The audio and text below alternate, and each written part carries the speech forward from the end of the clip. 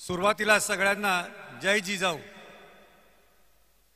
आज निलेश अप्पा सांबळे सांबरे यांचा वाढदिवस आहे. त्यांना सुरुवातीला वाढदिवसाच्या शुभेच्छा. ह्याच्या आधी माझ्या आधी दोन वक्ते बोलले. त्याच्यामध्ये पोलीस अधिकारी या पालघर जिल्ह्याचे प्रमुख पोलीस प्रमुख एस पी पाटील साहेब बोलले. त्याच्यानंतर प्रशासनातले अधिकारी पालवे साहेब बोलले आता मी पत्रकार म्हणून मला जे काय वाटतं ते बोलणार आहे. कारण पत्रकार सुद्धा एक समाजाचा एक घटक आहे. आणखीन त्यांनी आपलं जबाबदारीने समाजामध्ये ज्या घडत असतात त्याच्या नोंदी घ्यायच्या असतात आणि लोकांपर्यंत पोचवायच्या असतात. दोन्ही वक्त्यांच्या बोलण्यामध्ये एक गोष्ट आली की आपलं ध्येय ठरलं पाहिजे. पाटील सर पण साहेब पण बोलले की आपलं ध्येय आपलं नक्की ठरलं पाहिजे आपलं टार्गेट नक्की असलं पाहिजे. तसंच पालवे साहेब पण म्हणाले पण आपण जो युवक आहात युवकांनी तर आपलं ध्येय नक्की ठरवलं पाहिजे कारण पुढचं आयुष्य त्यांना महत्वाचं असतं. पण ध्येय ठरवायचं असेल तर ते कोणी ठरवायचं? तर आपलं ध्येय आपण ठरवू शकतो का?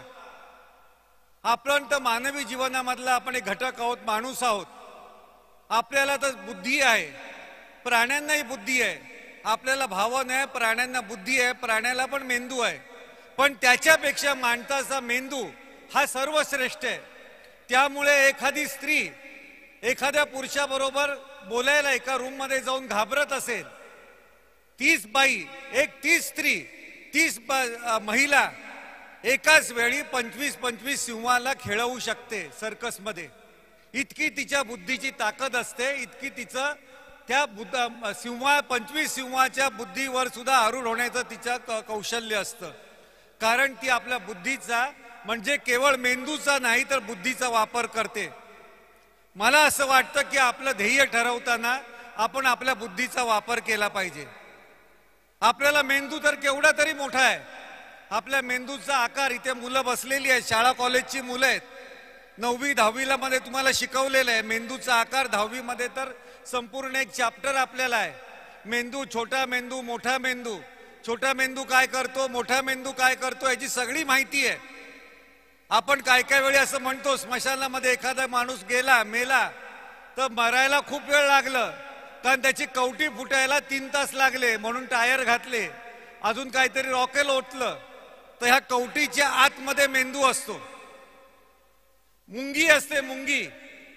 मुंगी बघा चिरडली तर रक्त येत नाही तर तिच्या मेंदूचा आकार आपण समजू शकतो का? पण ती मुंगी सांबरेंना सांबऱ्यांना सांबऱ्यांच्या घरातला साखरेचा डबा माहिती नसेल निलेश भाऊंना. पण ती मुंगी निलेश भाऊंचं घर शोधते. घरातलं किचन शोधते. किचन मधला साखरेचा डबा शोधते. डबा शोधण्याचा मार्ग शोधते आणि शोधल्यानंतर त्या साखरेला तोंड लावत नाही तर लाखो मुंग्यांना घेऊन येते आणि निलेश भाऊंच्या डब्यातली साखर अर्धी एका रात्रीत खतम करते.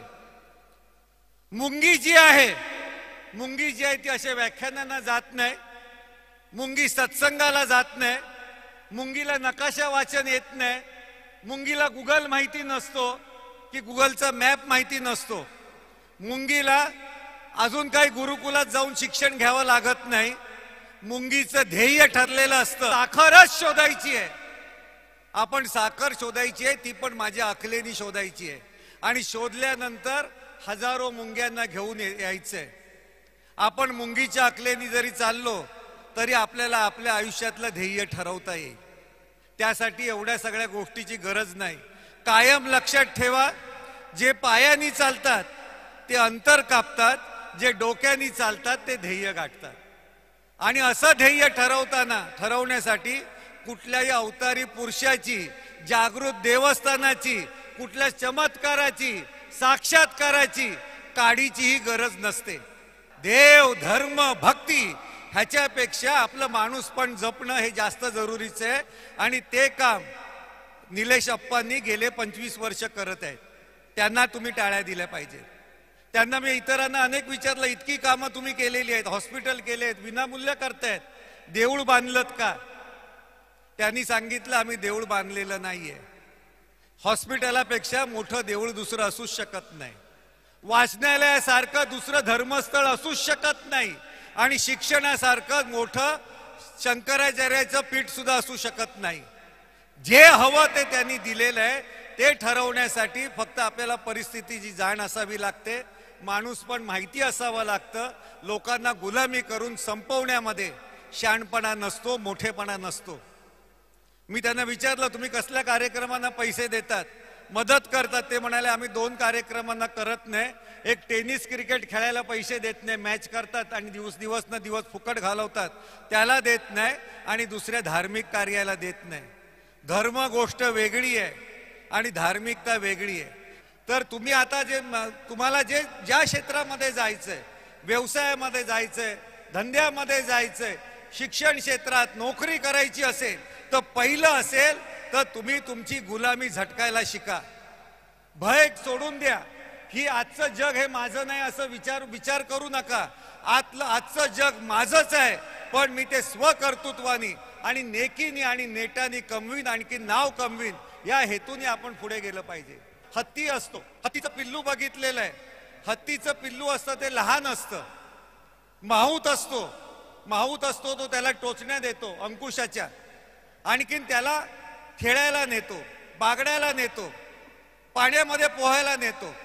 त्या हत्तीच्या पिल्याला खेळायचं असतं बागडायचं असतं. पण हं- हत्तीच्या अंकु माहुतानी टोचणी दिली की ते पिल्लू आहे ते हत्ती खाण्यात येतं. आणि काय करतं? तर आपला जो पाय आहे तो मागे नेतं आणि साखळीमध्ये बांधून नेत बांधून टाकतो तो माऊत. हत्तीच्या पिल्लाला असं वाटतं की आपण हे साखळी बंधातून सुटावं. तो अनेकदा पाय झटकतो साखळीतनं सुटण्याचा प्रयत्न करतो. प्रत्येक वेळी तो घायाळ होतो जखमी होतो आणि त्याच्या लहानपणामध्ये डोक्यात असं बसतं की आपण कधीही साखळी तोडू शकणार नाही. आपण ही साखळी तोडली तर आपला पाय तुटेल सुद्धा कदाचित. हत्ती मोठा होतो तुमच्यासारखा मोठा होतो. मोठा होतो ह्या मुलं असतात लहान तशी मोठी होतात तसाच मोठा होतो. मोठा होतो अजस्त्र झाडं इकडची तिकडे फेकून देतो. लाकडं नेतो इकडची तिकडं टणावारी. मोठमोठ्या अवजड गोष्टी असते तो इकडच्या तिकडे नेतो. पण माहुतानी आणि हत्तीच्या माहुतानी जर टोचणी एकदा दिली त्याला की तो गप्प हत्ती कान्यात येतो आणखीन आपला पाय आहे तो साखरदंडामध्ये बांधून टाकतो. खरं त्याच्यामध्ये इतकी ताकद असते इतकी ताकद असते की त्यांनी एक झटका दिला तर साखर दंडाचे शंभर तुकडे होऊ शकतात. पण लहानपणापासून संस्कार झालेले की मी हा साखर बंद तोडू शकत नाही. अशीच अवस्था आपल्या समाजाची आहे. वेगवेगळ्या पद्धतीने साखर बंद बांधलेले आहेत. ते जर तोडणं अस तोडले तर तुम्ही निलेश भाऊनी आतापर्यंत जे काही काम केलं त्याच्यापासून काही शिकण्यासारखं होईल. मी शिकलेलो आहे. त्यांनी असं सांगितलं पंचवीस वर्षापूर्वी महाराजांचं भाषण ऐकलं. आणखीन मी त्यांच्यापासून प्रेरित झालो. मला असं वाटतं की त्यांनी ही गुलामीच झटकली असेल. ही गुलामी झटकल्याशिवाय तुमच्या आयुष्याची उन्नती नाही आणि नाही झाली. उन्नती झाली तरी त्याला किंमत काढीचीही नाही. तुम्ही पहिल्यांदा ही गुलामी झटकली पाहिजे. की आपण कोणाला शरण जाता कामाने नम्र असावं. विनम्र असावं पण शरणांगत होऊ नये हे माणसाने कायम लक्षात ठेवलं पाहिजे. ह्यांनी पंचवीस वर्षापूर्वी सांगितलं की मी भे बघितलं भाषण ऐकलं. मला खात्री आहे की मी त्यांच्यापासून आज खूप शिकलं. मी त्यांचं काम बघितलं नव्हतं. हे जे त्यांनी वेगवेगळं केलेलं काम आहे ते बघितलं नव्हतं पण मी माझ्या भाषणामध्ये कायम एक कथा सांगायचो. त्या कथेतलं पात्र तुमचं आहे असं मला वाटतं. मी कथा क मला ह्यांचं आयुष्य आता ह्या क्षणापर्यंत इथे येईपर्यंत माहिती नव्हतं काय ते. सामरे भेटलेले आहेत अनेकदा त्यांना बोललो सुद्धा असेल काय वेडं वाकडं. कुठे भेटले असतील काय माझ्या फटकळपणापणे बोललो असेल. मी एक माझ्या व्याख्यानामध्ये शेवटची एक कथा असायची की मी एका ठिकाणी पत्रकार म्हणून गेलो. आणखीन आता जे सांबरे माझ्यासमोर आहेत म्हणजे निल निलेश भाऊ तसाच तो एक माणूस होता की ज्याने आदिवासी पाड्यामध्ये तो गेला. त्यांचं उत्थान केलं त्यांचं शैक्षणिक कामाचं उत्थान केलं त्यांचं सामाजिक उत्थान केलं आर्थिक उत्थान केलं वेगवेगळ्या पद्धतीने विकास करणाऱ्या योजना आखल्या. मला असं वाटलं पत्रकार म्हणून की त्यांचं काम आहे ते लाखो लोकांपर्यंत पोचवायचं. मी निलेश भाऊ सारख्या त्या माणसाची मुलाखत घ्यायला गेलो. त्या माणसाची मुलाखत घ्यायला गेलो आणि त्यांना सांगितलं की मला तुमचं काम आहे ते लोकांपर्यंत पोचवायचं आहे मी पत्रकार आहे. ते म्हणाले असे रोज पंचवीस पत्रकार येतात माझ्याकडे. उपयोग काय? समाजामध्ये तशी माणसं घडतात का परत? तर तशी माणसं घडत नाहीत. हे माझं दुःख आहे. मी म्हटलं असं का होतं? तर ते म्हणाले की आधी स्वतःपासून सुरुवात करायची. मी खजील झालो. वाईट वाटलं मला. मी म्हटलं की तुमची ती उणीव आहे ती मी भरून काढीन. मला तुमच्यासारखंच व्हायचंय. मला तुमच्यासारखं व्हायचं. ते म्हणाला व्हायचं असेल तर व्हा. मला हे काम उभं करायला पंचवीस वर्ष लागली. माझे वेगवेगळ्या डिपार्टमेंटचे वेगवेगळ्या शाखांचे प्रमुख लोक आहेत. त्यांच्याकडे जा बोला. मला काम करायला पंचवीस वर्षे लागली तुम्ही पंचवीस महिन्यामध्ये काम करा. मी असं करत एखा सामाजिक काम होतं ते बघितलं शैक्षणिक काम होतं बघितलं आरोग्यविषयक काम होतं बघितलं एम पी एस सीचं काम बघितलं धंद्याचं काम बघितलं रोजगार हमी योजनेत रोजगार देणाऱ्या उद्योगांचं काम बघितलं आणि संध्याकाळी त्यांच्यासमोर आलो ताट मानेने. कारण प्रत्येक डिपार्टमेंटल्या माणसांनी सांगितलं होतं की तुमच्या मागे आम्ही आहोत. आम्हाला पंचवीस वर्ष लागली असली तरी तुम्ही पंचवीस महिन्यामध्ये हे करू शकाल. मला अभिमान वाटला. त्या निलेश भाऊंसारख्या माणसासमोर बसलो. आज तुम्हाला खुर्च्या बसायला मिळाल्या. आपलं असं असतं जशी बैठक मांडलेली असेल तसं आपण बसतो. तो जो माणूस होता निलेश भाऊंसारखा तो जमिनीवर बसला होता. त्यामुळे मी पण जमिनीवर बसलो. आणि बसल्यानंतर सांगितलं की तुमचं काम सारखं मलाही करायचंय. म्हणाले आजपासून सुरुवात करा मी तुमच्या मागे आहे. हे म्हटल्यानंतर म्हणालो मी पण मी तुमच्यासारखं मी काम करणार आहे.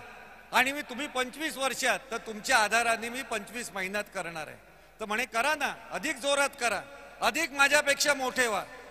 मी त्यांना सांगितलं पण एक माझं एक तुम्हाला विनंती आहे की मी मोठा होईन पंचवीस वर्ष महिन्यानी. आणि तुमच्यासारखं काम निर्माण करीन. मग लोक मला विचारतील की तुम्हाला ह्या कामाची प्रेरणा कुठून मिळाली? तर मी सांगितलं पाहिजे की निलेश सांबरे यांच्यापासून मिळाली.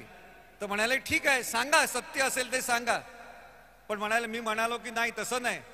मला काहीतरी तुमचा उपदेश हवाय. मला काहीतरी तुमचं एक वाक्य हवंय की मला काहीतरी तुमचा आशीर्वाद पर एक संदेश हवाय.